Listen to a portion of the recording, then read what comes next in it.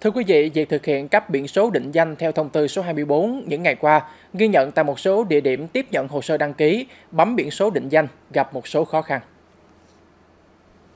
Theo cán bộ thuộc phòng hướng dẫn đăng ký và kiểm định phương tiện, Cục Cảnh sát Đường bộ Bộ Công an nhận định một trong những nguyên nhân dẫn đến tình trạng trên là do những ngày qua số lượng người truy cập tăng đột biến, nhất là thời điểm chuyển giao giữa thông tư cũ và thông tư mới. Điều này dẫn đến hệ thống bị ngãn. Ngoài ra, trong quá trình chuyển đổi phần mềm cũ sang phần mềm mới chưa được vận hành nhuần nhuyễn. Hiện nay, Phòng hướng dẫn đăng ký và kiểm định phương tiện đã thành lập tổ thường trực để xử lý các sự cố để tiếp nhận tất cả khó khăn vướng mắt từ các địa phương nhằm trực tiếp xử lý khắc phục, tạo điều kiện thuận lợi nhất cho người dân.